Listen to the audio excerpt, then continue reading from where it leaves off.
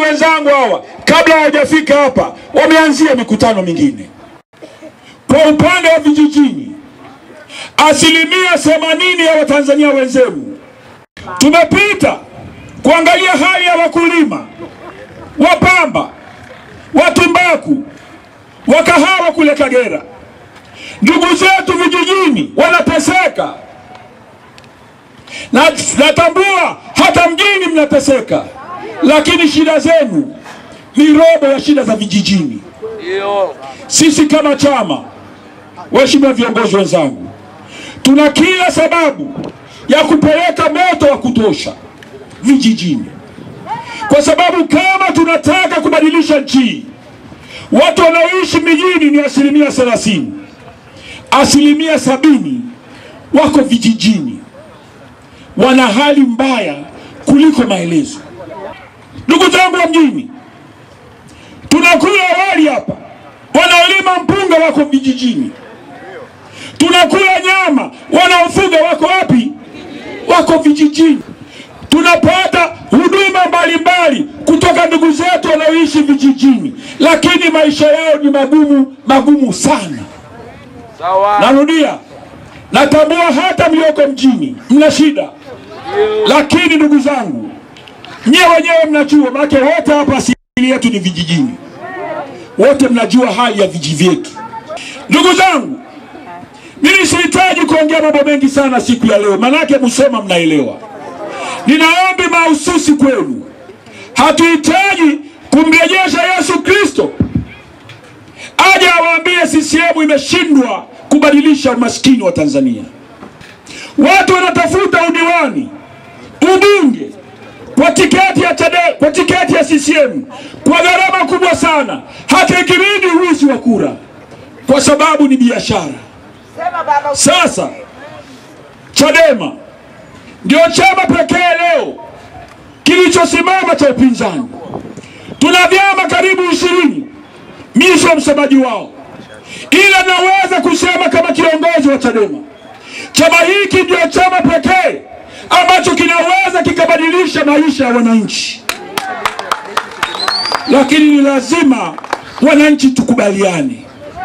Naomba tupitishe azimio la Musoma, azimio ambalo litakwenda kupeleka nguvu nchi nzima, kwamba namna pekee namna pekee ya kuondoka kwenye kero, umasikini, ujinga, lazima tumalizane na CCM. CCM leo ni klabu ya watu ambao wanatumia madaraka kwa niaba yenu kuwaumiza zaidi wananchi. Nakumbuka awamu ya tano tulielezwa hapa, hii ni serikali ya viwanda. Na wauliza Musoma, viwanda vingapi vimejengwa Musoma? Kila mwaka tunazalisha vijana milioni moja na laki tatu mwaka ambao wanaingia kwenye soko la ajira, lakini ajira hakuna. Ndugu zangu, tunapaswa tuache kulalamika, ule muda wa kulalamika.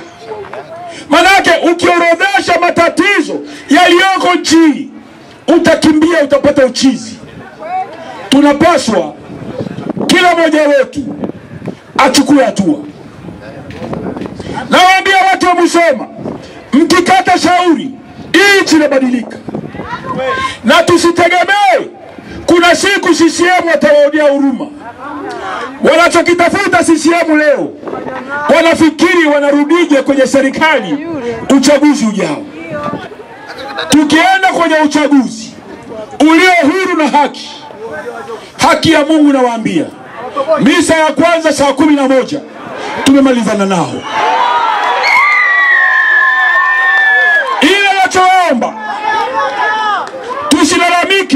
Tukimbia uchaguzi, tujipange. Rai yangu kama kiongozi wa Chadema, kwa niaba kamati kuu yetu iko hapa, tunataka nchi hii kuanzia mwaka kesho, serikali za mitaa zaidi ya asilimia sitini lazima ziende Chadema, tuweze kuwapata viongozi wenye hofu ya Mungu mijini na zaidi vijijini, tuanze kubadilisha maisha ya watu. Tunamwambia Rais Samia, nimesema jana, nimesema juzi na leo narudia, ameteua baraza la mawaziri. Mambo ya uchaguzi wa nchi yetu waachie tume huru ya uchaguzi, tuweze kuleta uchaguzi ambao utakuwa huru, utakuwa haki, utaingiza kwenye madaraka watu wenye hofu ya Mungu. Hiyo ndio kazi kubwa ambayo tunayo Chadema. Ninyi wananchi wa Musoma, kuna njia nyingi mnaweza mkasaidia kazi hii. Kila mmoja wenu jaribu kufikiria, sisi leo ni Jumapili, hata Mungu wetu tunamwombea asubuhi. Ninyi mmekwenda kanisani, mmetoka kanisani, mmekwenda mmekula, mmekula, wengine wengine bado, wengine wamekwenda wamepumzika. Sisi mnavyotuona hapa, tangu tukianzaga asubuhi ni mpaka usiku, na kesho hatuna Jumamosi, hatuna Jumapili, na sisi tuna wake, na sisi tuna watoto, na sisi tuna familia. Sio kutuona barabarani kila siku, mnaona sisi tunafanya starehe. Haya ni maumivu.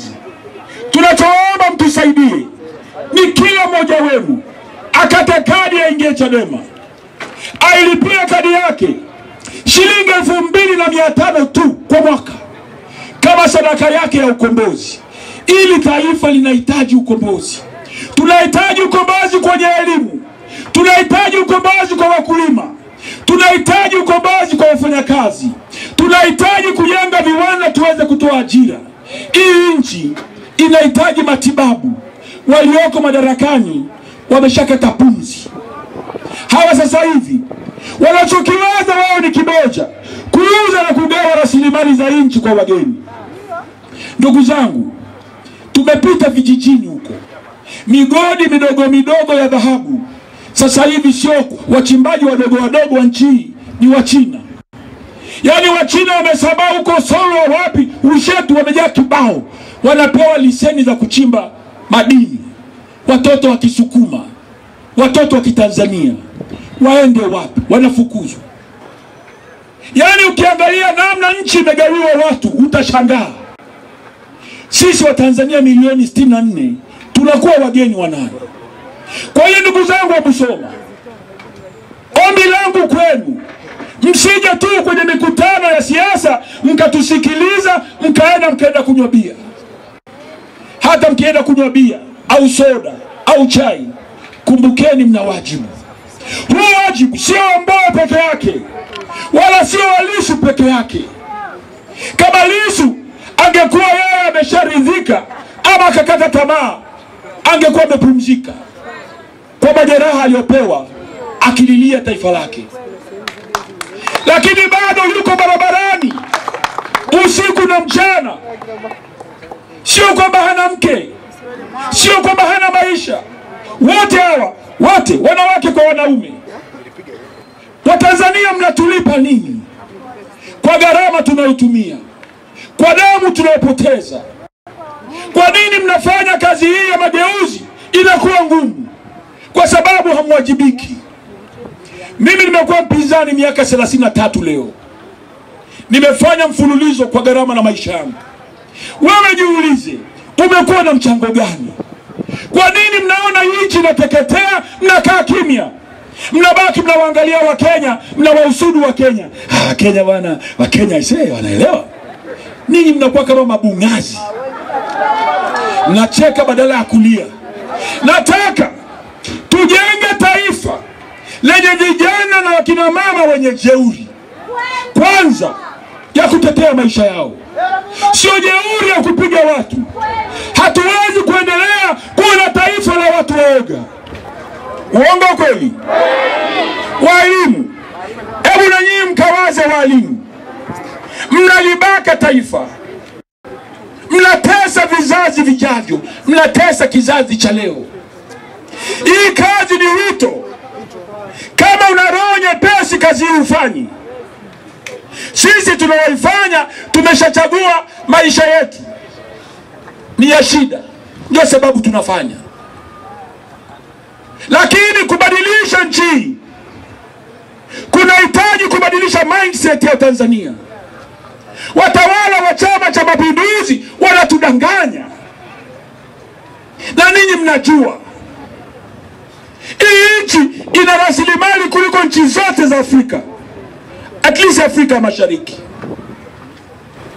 Lakini ukienda Kenya, ukiona maendeleo ya Wakenya, kujiamini kwa Wakenya, unaona tofauti na Tanzania.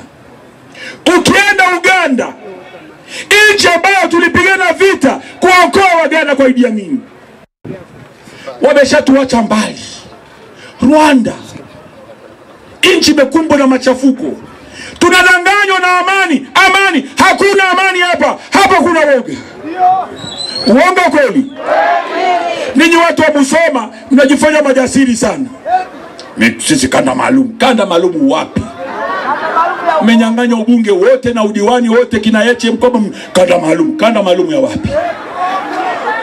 Tunasema hivi, tunataka tuone ujasiri wa Mara ukisambaa nchi nzima. Kwanza Mara, tuleteni majimbo yote ya mkoa wa Mara, wa Mara, na sisi wengine maeneo yetu tulishafunga biashara na CCM. Kila mmoja awe ni mjenzi na mlinzi wa chama hiki. Wanaunga mkono kwamba Samia endelea, gawa bandari, gawa ya Bukoba ametoa, ya Nansio ametoa, ya Musoma imeenda, yani bandari zote yani sio Dar es Salaam tu, hata bandari yenu ya Musoma hapa imeenda. Wanaunga mkono, wanyoshe kidole juu. Wale wote wanakubaliana na Samia na serikali yake na chama chake na wabunge wake kwamba wagawe bandari zetu kwa Waarabu wa Dubai kwa mkataba wa milele, wanyoshe kidole juu. Wale wote wanaokubaliana na waraka wa Baraza la Maaskofu Katoliki Tanzania, wanaokubaliana na mzee Simbe Warioba ambaye ni kada wa CCM, ambaye amewaonya CCM kwamba mkataba ule haufai, wanaoungana na Profesa Isa Shivji, mwalimu wa sheria chuo kikuu kwa miaka zaidi ya 47 wanaokubaliana na mama Anna Tibaijuka, kada wa CCM, profesa wa uchumi, waziri wa zamani na mbunge wa Muleba, amefanya kazi mpaka Umoja Mataifa, wanaokubaliana na chama cha mawakili Tanganyika chenye mawakili na wanasheria zaidi ya elfu saba wanaokubaliana na viongozi mbalimbali wa madhehebu ya dini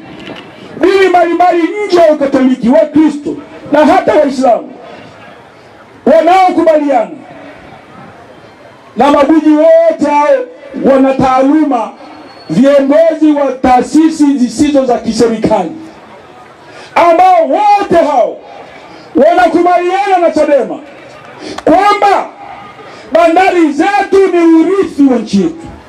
Moja. Pili, wote tunakubaliana kwamba hata kama tunataka uwekezaji, na kweli tunahitaji wawekezaji, lakini wawekezaji kwenye mikataba yenye maslahi kwa nchi yetu kwanza, na sio mikataba ya milele.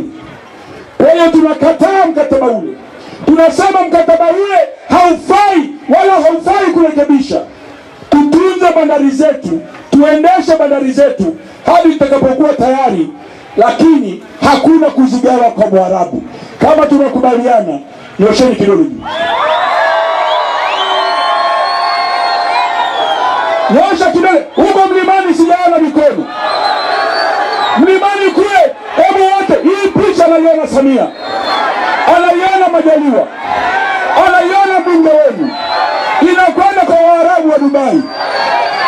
Waone Watanzania, hatukubali, hatukubali, hatukubali. Sawa ndugu zangu, asanteni. Nafikiri wapiga picha mmeshapata picha.